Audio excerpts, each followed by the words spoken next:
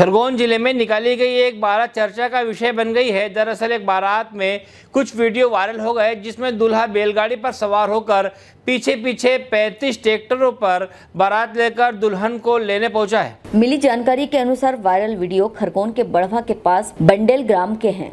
जहाँ के रहने वाले धीरज परिहार की शादी ग्राम की ही एक युवती के साथ हुई है। युवक का मानना था कि जिस तरह भगवान शिव ने नंदी पर सवार होकर बारात निकाली थी, उसी तरह वह भी कुछ अलग तरीके से बारात निकाल कर ले गए। इसी के लिए वह दूल्हा बनकर बैलगाड़ी पर सवार होकर निकला और उसके पीछे बाराती 35 ट्रैक्टरों में सवार होकर दुल्हन के घर पहुँचे। दूल्हा धीरज पैसे से काश्तकार है, इसलिए उसने अपनी बारात अपने ही खेत से निकालकर दुल्हन के घर तक इस अनोखे ढंग से ले गया, जो अब चर्चा का विषय बनी हुई है।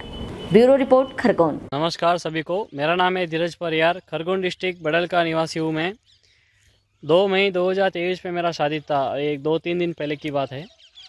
उसमें मैं, मेरी बारात बैलगाड़ी और ट्रैक्टर से मीन्स दूल्हे लेने के लिए निकली थी। तो उसमें पैंतीस ट्रैक्टर में बाराती उसमें सवार कर रहे थे और मैं बैलगाड़ी पे सवार करके गया था दुल्हन लेने के लिए।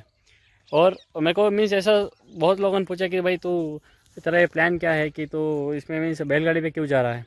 तो मैंने को ये बोला कि भाई, जब शिव भगवान मीन्स शंकर भगवान का जब शादी था, वो भी मीन्स इन पे लेके गए थे उनकी बारात, नंदी पे बैठ के।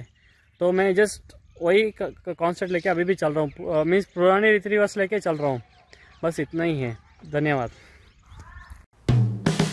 हेलो फ्रेंड्स आप देख रहे हैं हमारा channel S W twenty four news हमारे सारे वीडियो सबसे पहले देखने के लिए आप हमारे चैनल को सब्सक्राइब करें और पास में लगे बेल आइकन को दबाना बिल्कुल भी ना भूलें।